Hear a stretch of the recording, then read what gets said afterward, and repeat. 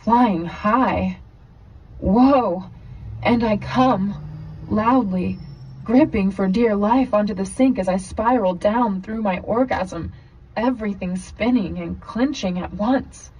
He follows, clasping me tightly, his front on my back as he climaxes and calls my name like a